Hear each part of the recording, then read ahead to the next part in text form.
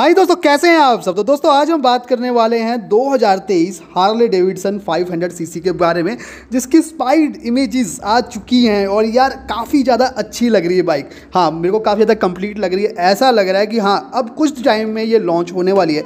इसके प्राइस के बारे में, इसके इंजन के बारे में, और डिटेल्स के बारे में हम डीपली बात करेंगे। तो वीडियो में भैया बने रहिए। सबसे पहले तो मैं बता दूँ कि भैया, आपको पता ही है कि हार्ले डेविडसन बड़ी बड़ी बाइकों के लिए जानी जाती है। तो यहाँ पे ये अभी अभी रिसेंटली मैं कहूँ इन फ्यूचर तो हो सकता है कि 200 सीसी की बाइक भी आ जाए हार्ले डेविडसन की, लेकिन फ़िलहाल के लिए इसको आप हार्ले डेविडसन की एंट्री लेवल बाइक समझ सकते हैं।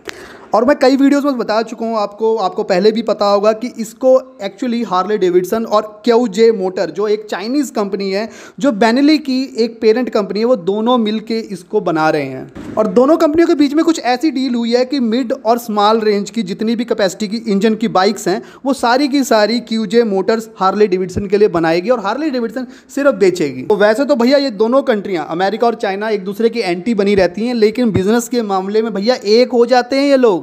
और हमें अगर रशिया जैसे देशों से कुछ लेन देन करनी है या बिज़नेस करना है तो हमें आँखें दिखाई जाती हैं। खैर, हमारा टॉपिक थोड़ा अलग है तो इस बारे में बात नहीं करेंगे। हम बात करते हैं बाइक के बारे में। सबसे पहले तो आपको बता दूँ कि इसमें 500 सीसी का जो इंजन यूज़ किया गया है, वो बेनिली का एक इंजन है, जो ऑलरेडी लियनसिनो 500 में आपको देखने को मिल जाएगा। और देखिए, आपको पता ही है, मैं पहले भी बता चुका हूँ कि यहाँ पे हार्ले डेविडसन के लिए कोई नया इंजन तैयार नहीं किया जा रहा ऑलरेडी जो क्यू जे मोटर्स के पास जो इंजन्स हैं, और आपको पता है बैनली उसकी एक कंपनी है तो जो बैनली के पास इंजन है, वही इंजन यहाँ पे यूज़ किए जाएँगे। इंजन के बारे में डिटेल में बताता हूँ आपको 500 सीसी का यहाँ पे पैरेलल ट्विन इंजन रहने वाला है।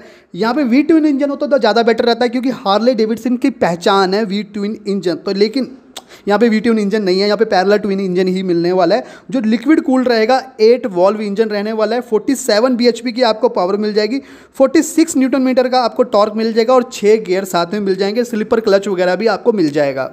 तो देखिए भैया इंजन बहुत ज़्यादा शानदार है। अगेन मैं वो कहना चाहूँगा कि वी ट्विन होता तो ज़्यादा बेटर लगता लुक्स वाइज परफॉर्मेंस वाइज देखा जाए तो ये इंजन बेस्ट है, लेकिन लुक्स वाइज ऑब्वियसली बात है वी ट्विन इंजन ज़्यादा बेटर लगता है।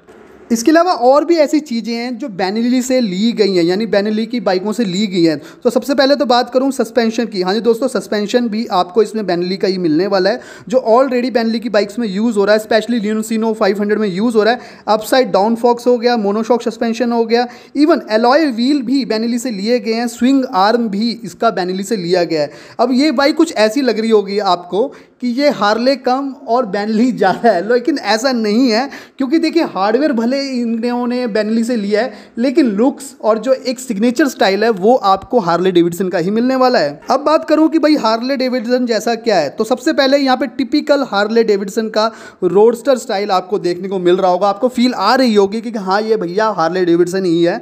और यहाँ पे आपको हार्ले डेविडसन का ही एक सिग्नेचर स्टाइल मिल जाएगा, उसके हैंडल बार भी उस तरीके के आपको मिलने वाले हैं। इवन अगर आप इसके टेयर ड्रॉप फ्यूल टैंक की तरफ़ देखेंगे तो ये भी हार्ले डेविडसन के ही स्टाइल का है। सिंगल बोर्ड इंस्ट्रूमेंट कंसोल भी ये आपको हार्ले डेविडसन जैसा लगने वाला है। रेयर व्यू मिरर्स हो गया।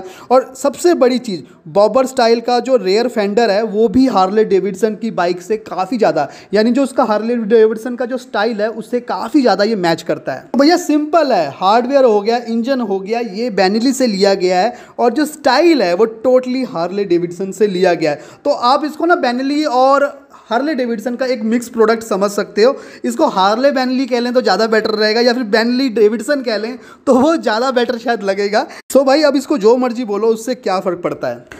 लॉन्च डेट की मैं बात करूँ तो ये बेसिकली आपका 2023 में लॉन्च होने की उम्मीद है, क्योंकि देखिए जिस हिसाब से फुल फर्निश्ड एक प्रोडक्ट नज़र आ रहा है पेंट शेंट सब कुछ ओके रिपोर्ट लग रहा है तो भैया ये तो ऐसा ही लग रहा है कि ये 2023 में लॉन्च हो सकता है।